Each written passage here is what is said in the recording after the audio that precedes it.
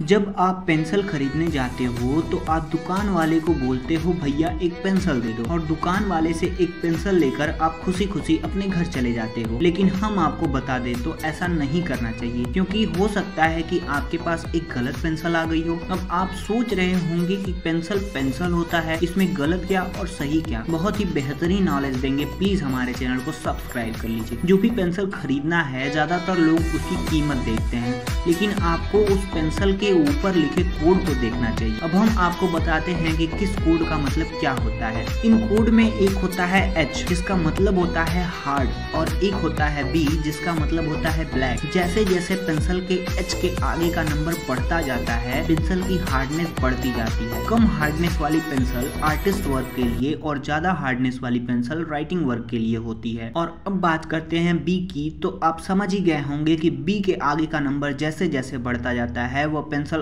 की लिखाई और काली होती जाती है। और सिंपल लैंग्वेज में अगर आपको कुछ ना समझ में आए तो आप एचबी कोड की पेंसिल ले सकते हैं। ऐसे ही बेस्ट नॉलेज के लिए प्लीज़ चैनल को सब्सक्राइब कर लीजिए।